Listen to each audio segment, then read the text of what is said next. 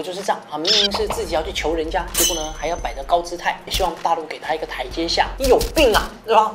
就你们没资格，中国人不吃你这一套啊！拜登就只剩下两条路可以走了，不祥的味道，不祥的预感。哎呀呀，这个就危险了。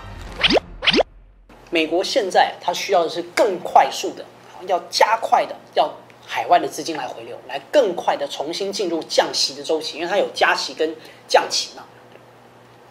其实现在的经济状况，如果按照正常来讲，它是不具备加息条件的啊。但是我们说过，它其实是为了应付通货膨胀，所以它希望更快的资本回流，而且它希望要尽快的进入新一轮的降息的周期啊，否则美国自己的经济啊其实是受不了的。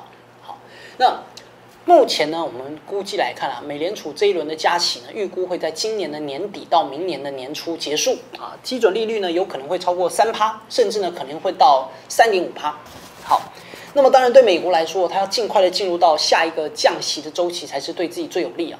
那进入到降息的周期呢，在国际的市场，它就需要更多廉价的资产啊，供它来购买嘛，对吧？就是它需要从各个地方来割韭菜。但问题来了，就如果全球的经济啊没有那么多的危机啊，没有那么多的廉价资产来供美国割韭菜啊，没有让美国来收购，那这也会让美国加息啊，加了个寂寞，对吧？你本来是要去割韭菜的，但如果说人家没有韭菜给你割啊，那美国加息还有啥意思呢？哎，美国，那他接下来还可以做什么事情？哎，那我们就要接着看说，哎，那这一次六月份的加息，那到底过一阵子它的通货膨胀数据？到底有没有改善？如果没有改善的话，拜登就只剩下两条路可以走了啊！如果呢他不想要这个其中选举失利，他就只剩两条路。第一条呢，他就必须要取消啊对大陆的不平等的关税。美国先前其实有专家预测，你完全取消大陆的关税，你可以让通货膨胀大约下降一点三到一点五帕。那虽然现在通膨是八点六帕，那降了一点五好像没啥用。但是呢，就是至少还有点用嘛，啊，它至少有点用。那至少你可以让美国人觉得说，嘿，你看，它真的有在下降啊。那拜登可以说，你看，我们有在努力啊。啊，那如果你都不努力的话，那你接下来万一到了到九趴、到十趴，你怎么办？所以五月份开始，拜登就一直在讲说，哎呀，我们要考虑取消对大陆关税啊。就考虑来考虑去，怎么一直都没有实施呢？你看第一个呢，他当然是先喊一喊啊，测试一下国内的反应啊。毕竟呢，美国有一些自尊心在嘛，还开玩笑，我全球霸主哎，开玩笑，我是反华老大，反华总教头啊。结果反华总教头啊要向大陆低头，那他就是要看一看，看看有没有人骂他。结果真的有不少人骂他，这种政治上的鹰派。那第二呢，他也是要跟大陆谈条件。你看这个美国就是这样啊，明明是自己要去求人家，结果呢还要摆着高姿态。拜登一方面呢要取消这个关税，但是他也希望大陆给他一个台阶下。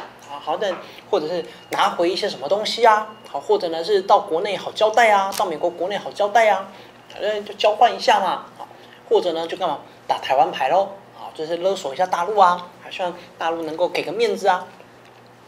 结果大陆呢，好，当然是不肯给这个面子。大陆外交部的原话叫做必须无条件取消，对吧？哎，本来就叫做不平等关税，对吧？你好，我们好端端的做生意，结果呢，你骂我们，然后呢，你给我们加关税，现在你要取消关税，你还要我再给你好处，你有病啊，对吧？就你们没资格啊，以实力的地位出发来跟中国说话啊，中国人不吃你这一套啊，大意就是这个意思啊。所以这种关税啊，就是你造的孽，你自己买单，因为反正呢，对对大陆人呢，好没啥影响，所以就看了啊，那个拜登。到底呢，愿不愿意把这个关税啊给取消？取消的可能性还是挺大的啊，但是呢，就不会是全面啊，会是部分的。否则现在通膨八趴，那未来如果到了九趴，到了十趴，嗯，美国愿意干嘛？当然不干。所以应该会取消。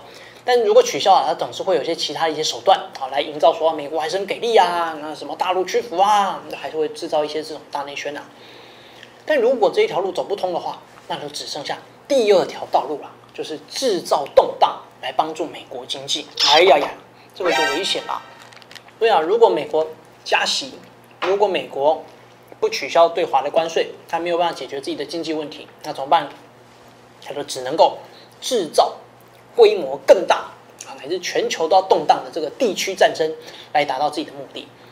那战场是哪里啊？当然就是整个欧亚大陆嘛，因为只有欧亚大陆才有足够的钱来帮美国的经济来做这个嗯辅佐，所以美联储加息，如果我们从历史上来看，孕育着一种很不祥的味道，很不祥的预感，那就是在对外输出战争或寻求军事冒险的信号。因为在过去来，美联储开始加息啊，往往往往也意味着战争开始打响。